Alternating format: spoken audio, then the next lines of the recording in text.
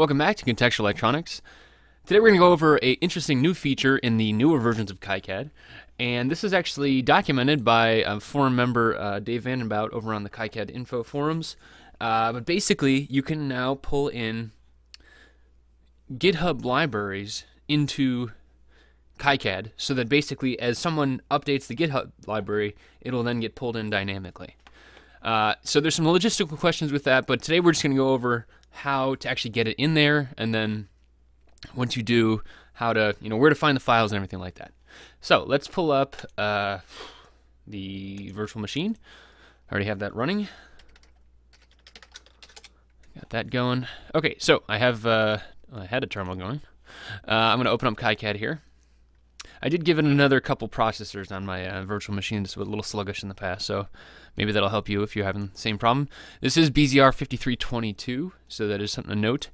Uh, and what we're going to do here is actually go and look at the location of where these things live in the first place, because I actually I was actually wasn't sure about that. Now, if you wanted to go in and add a new now this is going to be for footprint library so this isn't actually this is you know the schematic stuff so this is actually not relevant but it's going to tell us the library location. So if you wanted to add a foot uh, uh, sorry a schematic symbol library you could do that here. These are all the default ones. You could also go in and add. And then in here we see there's other ones in here. There's another question on the forum about that how to actually add these in.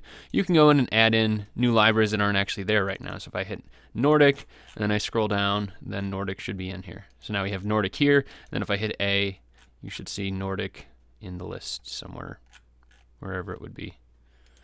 Uh, that didn't look like a take.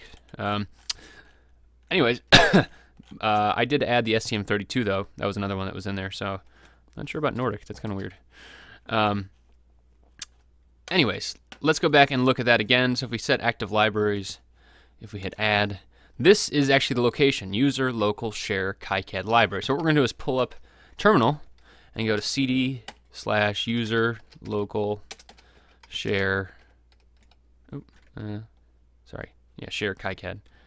Let's just go to that folder and we'll see what's in there. So in here there's demos, internat, library modules, and template. So in library we should see uh, some of these ones that we were just talking about.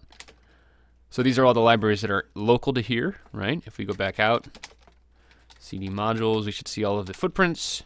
These are the .brd, uh, stuff like that. Uh, actually, that's modules, so that's a little bit different. But what we really want to do is templates. So if we go to CD template, yeah, that's kind of hard to see, but let's space it out like that. Uh, let's do that one more time. Uh, ls, there we go. Okay, so we see there's a bunch of different things in here. And basically what we want to do is this file right here is actually what we want to modify. Um, and so if we go in and just take a look at that, so sudo nano fplib. Now this is actually already modified on my end. I just I just did it and I made the video.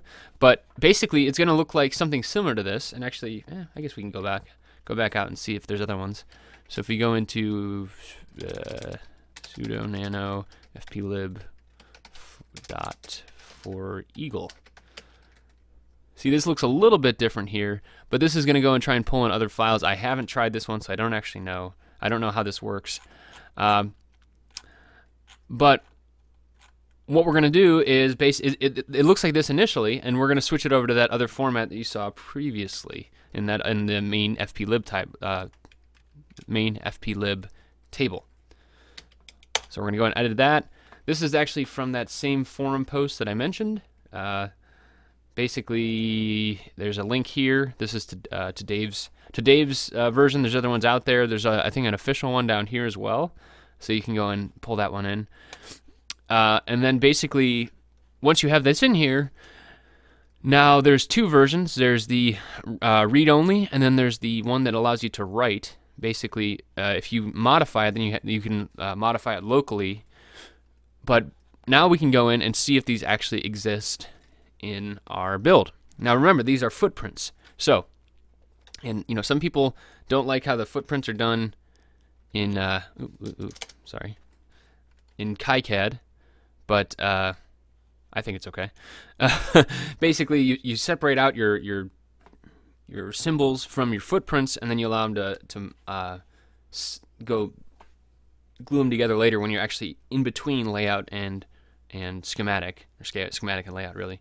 Uh, I actually like that a lot because then it allows you to have a lot fewer footprints in your library. You don't need a you know for every resistor value you don't need to then assign 0402 1K resistor, 0402 2K resistor. Basically, it's just resistor value and then everything gets assigned to the 0402. So we'll see that in the library here.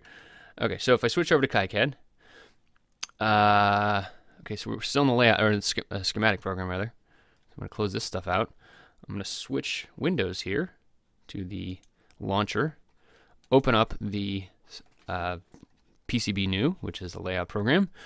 Uh, this is the Bench Buddy project, the one we've been using. But now I'm going to go in and actually hit uh, Preferences, Library Tables. And now we can see all of these uh, these different tables in here now. Again, this is going to take some more uh, logistical looking looking at uh, looking at these in detail.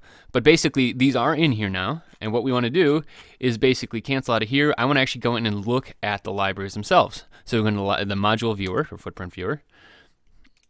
Okay, and now we see that these are the the same the same libraries that we had in that file. So if you look at that file again, we see uh, fuse holders and fuses. How about that? Fuse holders and fuses. All right, and now we can see all of the different ones that are in here. Now these are basically ready to go footprints. You know, I, I highly, highly recommend that you always check your footprints, right? But these are different uh, types.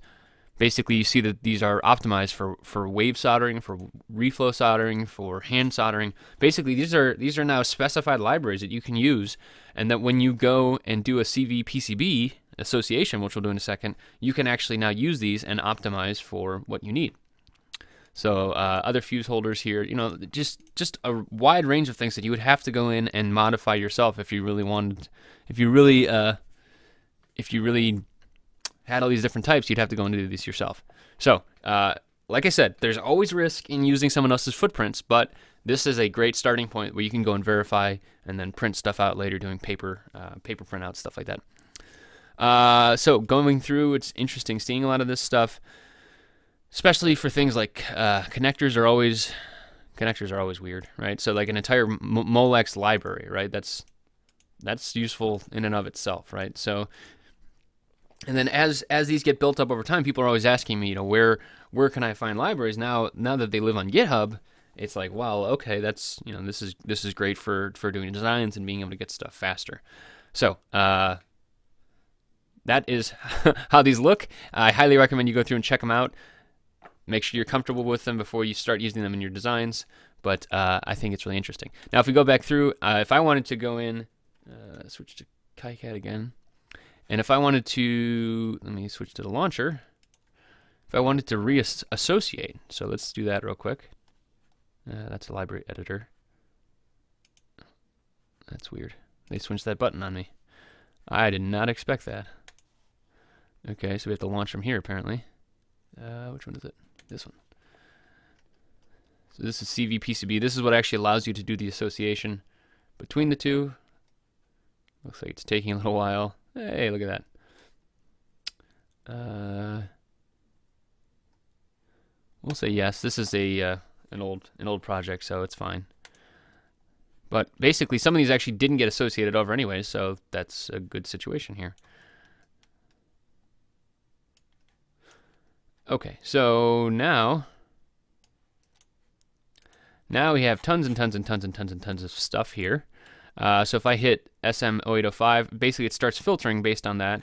And now we should see there's SM0805, SMD0805. I can just go in and redo it. And then, you know, same same as it was in the old version of KiCad, if you just double click down, you can start uh, replacing all of these at once. Now, this is actually going to mess up a lot of my layout, but uh, I think at this point, if I was going to transition, you know, uh, KiCad versions, then I would probably make that make that jump. So uh, basically, you know, a lot of this flow is the same. The only thing that's really different now is the the KiCad libraries are, are, can now be tied to GitHub. And uh, like I said, we'll talk about the logistics of that later because that could mean things for when you're online versus offline, and what happens if some you're using some external library and someone changes something. But uh, for now, I think it's really interesting, and I suggest you try it out. That's all for now.